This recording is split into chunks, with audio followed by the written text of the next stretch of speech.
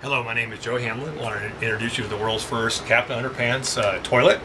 So what we have here is we have uh, it's controlled by two Arduinos. I have a master Arduino and a slave Arduino.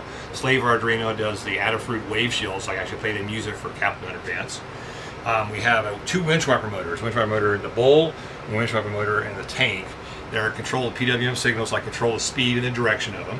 We also have a sonic sensor, so I can detect when somebody walks up. The range is about six to eight feet. I can I can control the range. After it goes through its routine, which is about 90 seconds long, it'll pause for four minutes, and then then it becomes eligible to, to run again. We also have two micro switches in the toilet and the lid. That allows me to detect uh, when uh, when the lids are closed. It's a dead reckoning, so you don't know where things are. So the switches tell me when I'm closed.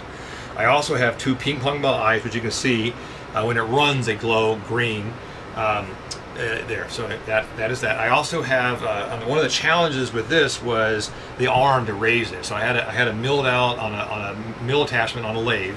So now that works quite smoothly now.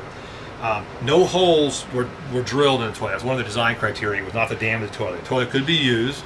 Um, everything is removable. That actually is more challenging you think. How, how do you attach a motor so it doesn't move around? Uh, but anyway, that, that's all done. Everything can be removed out of it.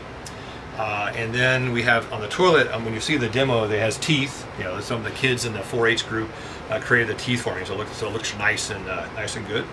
Well, I hope you enjoy it. Thank you very much.